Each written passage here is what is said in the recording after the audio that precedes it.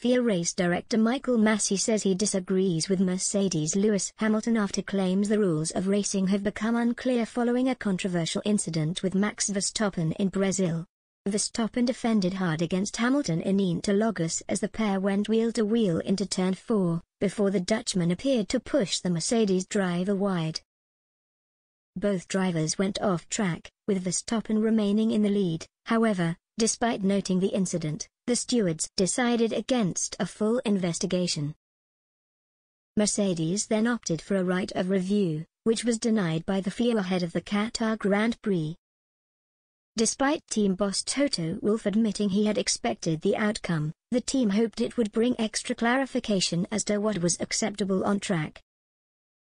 Speaking after the driver briefing in Qatar, Hamilton said, No, it's not clear, every driver, I think except for Max, were asking for clarity, most drivers were asking for clarity but it wasn't very clear.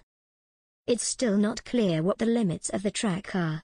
It's clearly not the white line anymore when overtaking. We will just go for it.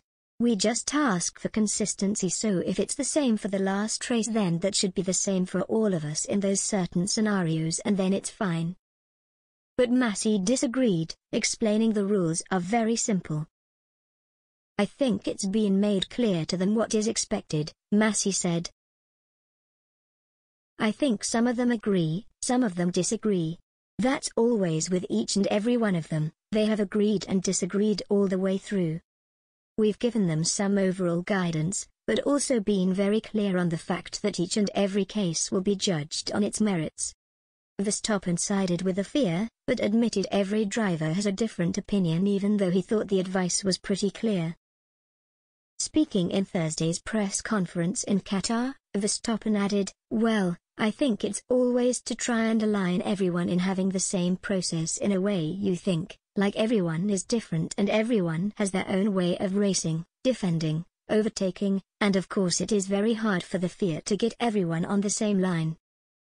Of course they decide but every driver has a different opinion. Yesterday it was all about sharing opinions and the FIA explaining their process of thought behind it. I think we came a long way, and it was a very long briefing, I think it was at the end pretty clear. Verstappen holds an 8-point lead over Hamilton heading into the final two races of the season, with the championship set to go down to the wire in Abu Dhabi.